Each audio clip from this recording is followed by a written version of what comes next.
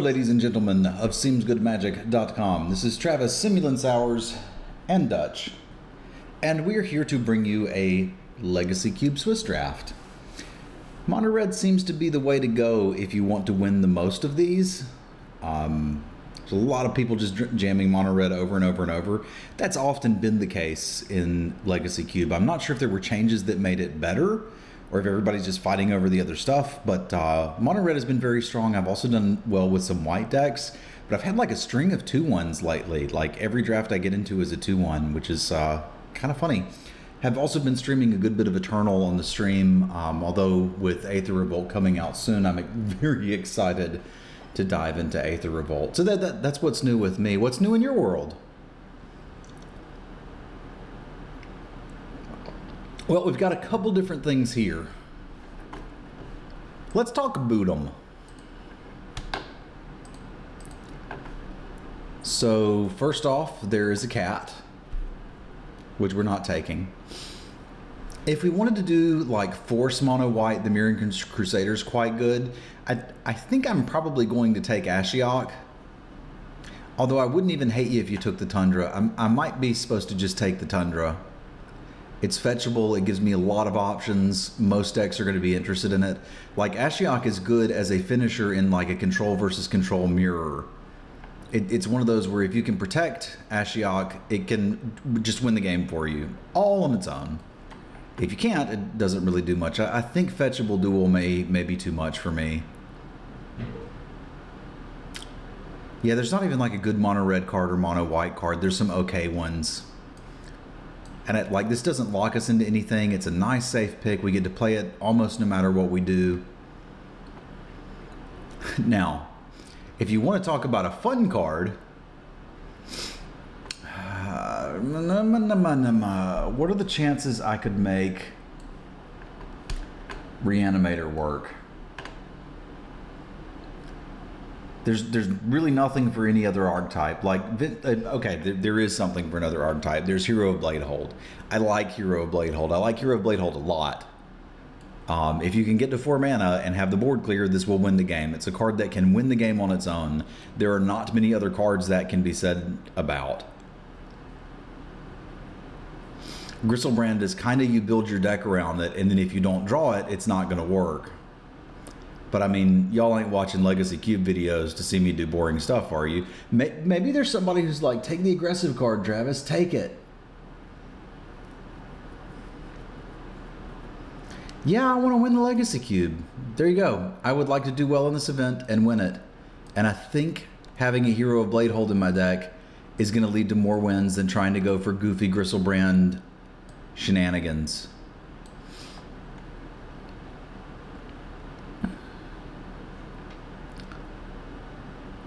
This pack has some other interesting cards. Had we gone with the Griselbrand Pack Rat as a consideration, I've had some fun things with like a Mimic Vat and a Phyrexian Rager, but I think I'm just going to take the Metamorph here. It's a three mana clone. It, it's not blue. It looks like it's blue, but it's not blue. And it, it kind of just goes in any deck, and we're going to be happy that we have it. I like Flame Tongue Kavu as well. It's a strong card. So what's going on here? There's a control magic, which I'm a little surprised to see. That's a very strong card. Uh, shout out to Miscalculation. That's a good card too. There's also a Mana Elf. I do like Mana Elves. And Anissa, like Green White Fair, is a deck that I'll play quite a bit too. Um, not usually as interested in the uh, non-fetchable lands, but I'll take a control magic. That's a, a, little bit of a signal that somebody doesn't want to play blue, I guess. And I'm I'm down to play blue. I usually think of Hero of Bladehold as like an aggressive card, but it, it can just be a, a mid-range finisher in your control deck. Uh, Seagate Oracle's just fine too. I'd, I'd like to pick up some more interaction. Like Condemn can sort of do that. Here's another fetch, which is neat. It could open us up to Bant. But I feel like blue is open. I, I don't know about white. But uh, Seagate Oracle is just a, a fine body that replaces itself. It's kind of hard to go wrong with that. Okay, we've got Precinct Captain. If I want to continue to push on the aggressive white strategy, It also makes tokens, which is like potentially need interaction, but there's also a banishing light. And it looks like I'm probably building more towards something that's controlling. Also, double white on turn two may be an issue if, if we're going to definitely play Control Magic and Seagate Oracle, and we probably are. So I'll, I'll take the Banishing Light. That means we're going to be interested in uh, things like Legacy's Allure that we can play on turn two and have something going for them later. Eternal Witness is also a card I like quite a bit. We don't even necessarily have to be white, um, but having a Tundra, the hero, and the Banishing Light means we can probably go into a blue-white, I hesitate to say control, but control-ish deck. We have absolutely nothing for this to interact with so far, but that doesn't mean we won't find something. Um, it, it can be a powerhouse late game. Uh, also, a 2-2 lifelink is fine against like a burn deck. Like I'd main deck a Revoker. I don't think we're interested in Nefrit. We could go way out on a limb and take the Mystic Snake, but I, I think this is just interesting enough for me to want it. The Looter Spun, which I like. This is like the Anthem of Ajani, and I've seen that be okay. It kind of wants you to be in a swarm deck, which I, I guess we're sort of playing. Yeah, I'm kind of torn between a Ajani and the Merfolk Looter, and then also the Temple of Epiphany. Like I usually want that if I'm doing Reanimator, and like I'm not doing Reanimator. I'll still take it. Uh, Looter's a very strong card, but if we end up being a, a more aggressive deck, I may regret that.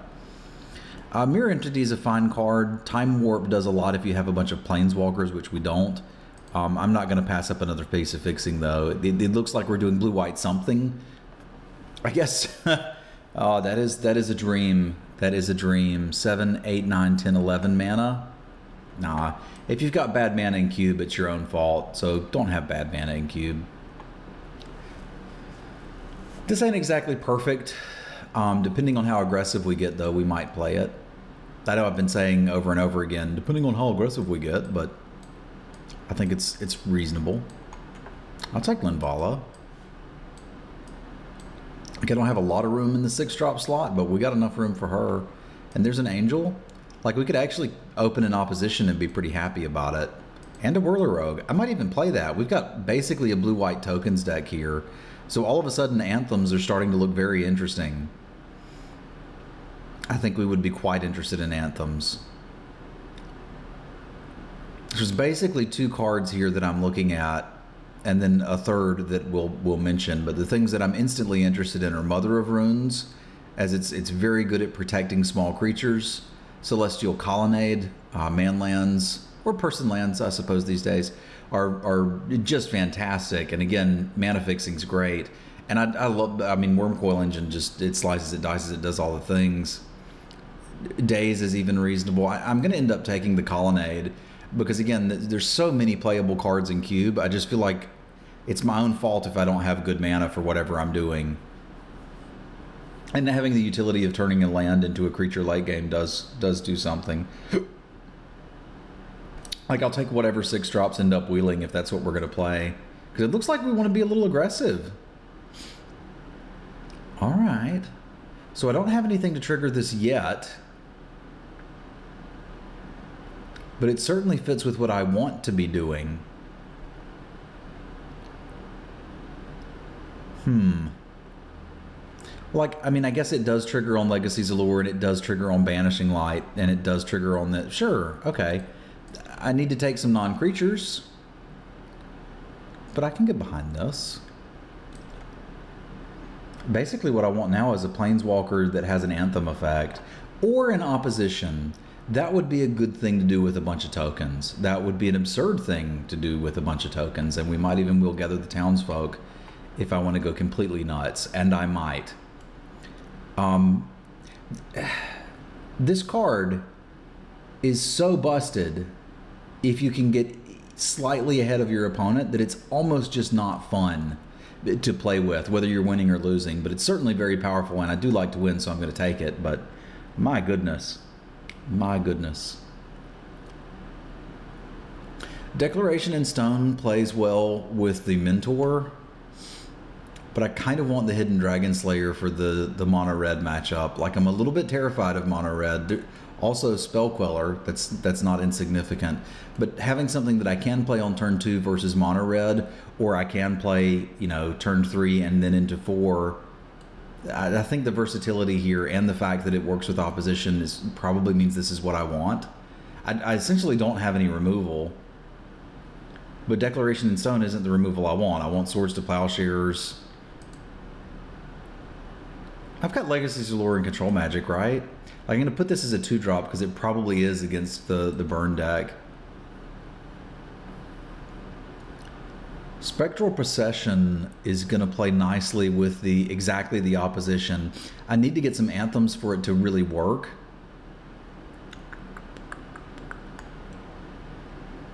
But I mean, I'm not playing a Pestermite. I'm not splashing Ral Zarek, so I, I, I guess it's in.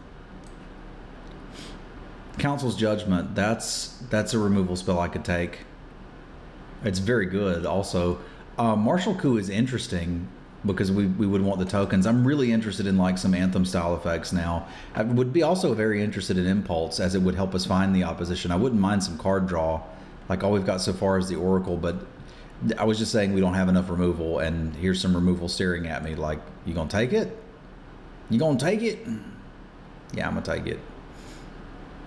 Good enough to get banned. Is it good enough to play? I don't know. Unexpectedly absent is very close to removal. Reflector Mage is fine.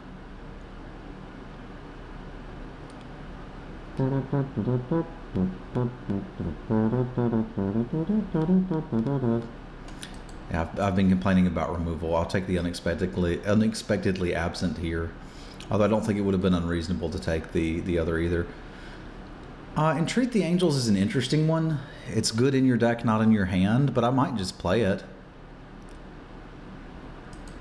Like if you can miracle it, it's pretty good. If you can't, you know, you kind of end up with a five mana four four flyer, which is fine. It won't take much for me to convince myself to splash uh, uh, Lingering Souls if we see one, so I'm going to take the Temple of Silence. Uh, Remove Soul is usually playable. Cloudskate's pretty good too. Both are potentially something to do on turn two.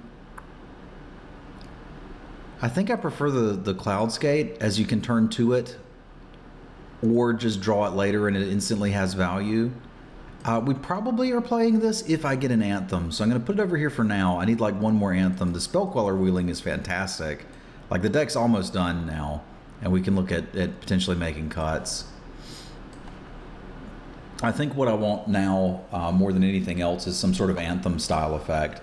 Um, so named because of the card Glorious Anthem, all of your creatures get plus one, plus one. But like, there's plenty of them that exist. Uh, Gideon, uh, the Oath of the Gatewatch Gideon minus produces an Anthem effect. That of Ajani I didn't take earlier. I, I, would certainly be playing that in this deck now. Just anything to leverage the fact that some, some of our cards are making more than one creature. I think that and mana fixing are really the only thing I'm interested in at this point. I've passed an Armageddon, and I think I'm going to pass the Ravages of War too. I don't mind taking Kitchen Finks and just being kind of a little bit hedged uh, for the aggressive matchups. We're not in a position to, to really take advantage of Thing in the Ice. Like, I, I'd almost rather be pre sideboarded for the burn matchup and then change it if we're in a, a different one. Okay, Ajani isn't quite the anthem I wanted, but it may just be the anthem I need. Thalia is quite good too. Uh, Misty Rainforest is interesting because it fetches uh, the Tundra, so it is a dual for us. I, I think I've been talking so much about wanting to make sure that we have a way to get an anthem effect that I have to take this. It's unique. Like Glen would be good. We could certainly get some value out of a Flicker Wisp. Uh, Thalia would be quite good. But I, I think I just need this.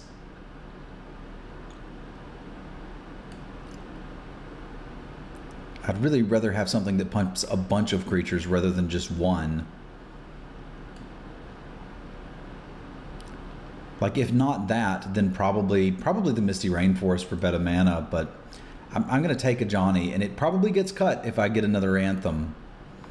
Well, there, there's Glorious Anthem. And a stacked pack too. Like would be very interested in an image and a Banisher Priest.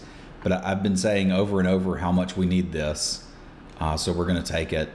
Not quite sure what our cut's going to be yet, but we will figure that out. Might be this Entreat the Angels. That's cute, but may not be what we need. Sower of Temptation is quite good.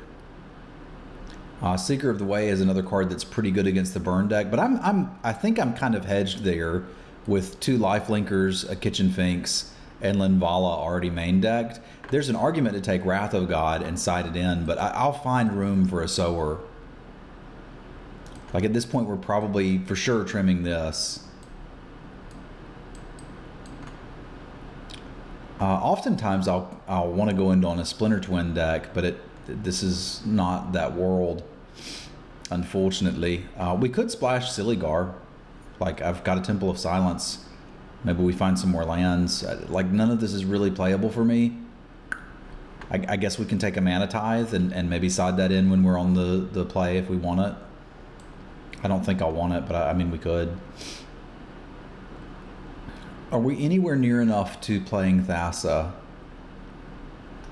Like Whirler Rogue does it, Control Magic, Sower. You could have, what, three pips to get her? One, two, three, four, five, six, seven, eight, nine, ten. I mean, we're basically splashing blue in a, a white aggro deck. I don't think we want Thassa. Although the, the effect is certainly better here, right? Like, this is a deck that can take advantage of things being unblockable and certainly wouldn't mind scrying. If not her, then an oust I'm probably not going to play. I don't think this is good enough, but I'm still going to take it. The unblockability may be relevant. I actually like Student of Warfare quite a bit. I think we can find room for that too. The reason being, it's really good on turn one, and even if you end up drawing it late, it, it gets quite good. Wow, wow, wow, wow. We've got some options here, and I don't quite have time to go through all of them. I think Secure the Waste is probably the pick, although you could make a strong argument for Recruiter of the Guard. Like, it can go find the Dragon Slayer if we need it, the Grandmaster if we need it. I never ended up getting anything to really abuse this with, did I? It's mostly just a 2-2 lifelink. I mean, I guess maybe at 7 mana we could start recurring that. At 6 we could recur that. I guess we could slowly make an army of tokens here. But I think the fact that we've got opposition means I just have to take this.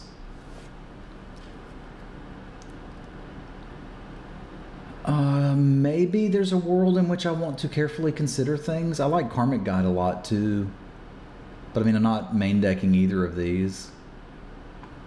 Maybe I can do that against like a Reanimator deck where we just need a big giant pro, pro black thing.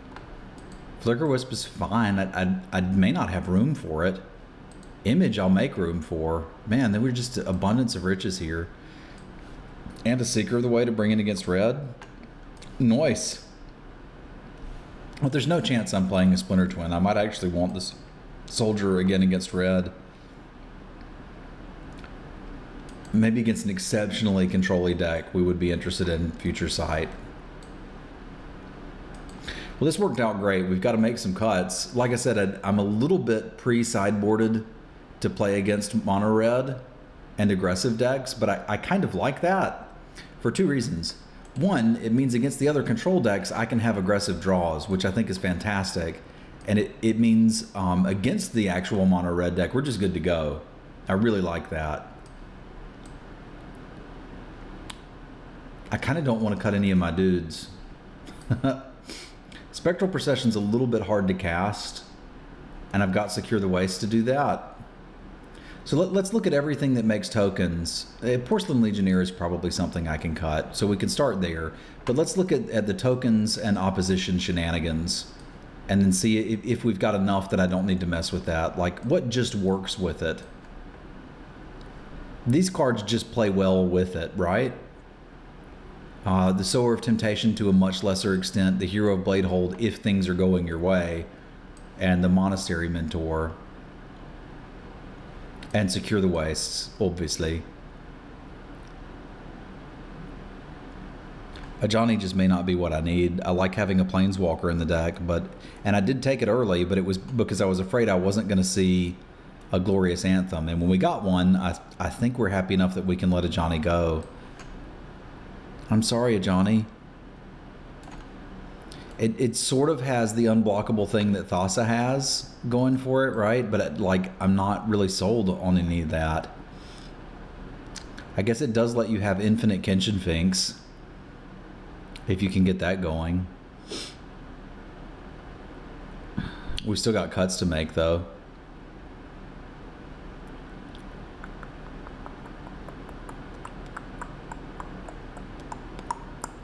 Legacy's Allure isn't often amazing, but it's it's never really bad. It's it's basically I've got to consider cutting some of these things that I wanted to have like something like this, cut those, call it a deck, get going is reasonable, but I, I legitimately do want the deck pre-sideboarded for mono red, and then I'll take it out if it's a problem. Uh, which probably means I need to cut something from this four spot. We're a little bit flooded on them. And the, the Whirler Rogue is probably the worst of them. Even though it plays nicely with opposition, it gives us three bodies and has some unblockability shenanigans going for it. I think we're going to have a more white mana than anything else and, and procession may just be the last one because I'm, I'm going to have more white mana than anything else, but not necessarily turn three. I think I can get behind this. Like if we're not playing against a, a burn deck, we're probably interested in getting cards, something like these cards in there. Is there anything that I'm blinking with the Flicker Wisp that's like amazing? I mean, Cloud Skate's pretty cool. Emiria's pretty cool. The Metamorph could be cool. The image, probably not so much. I think this is probably where I want to be. I think this is where I want to be. And again, we'll hedge a little more on white. And again, I understand Kitchen Finks is not fantastic, uh, but it, I'm scared to death of the burn decks. So give us 7, 8, 9, 10 white, 6, 7, 8, 9 blue. I'm going to hedge one more here. That makes the Legacy's Allure a little bit harder to cast, but you see we've got a string of, of kind of double whites here. And also I do want to be able to hit our, our white spells early. Like Legacy's Allure kind of sucks not to be able to hit that, but we should still be able to hit the Looter early.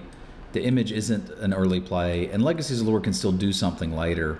So I think I'm pretty happy with this. This looks like a good deck to me. It's kind of a blue-white aggro deck, which is not something I've, I've seen very often, but let's give it a go. We will see you for round one in just a moment.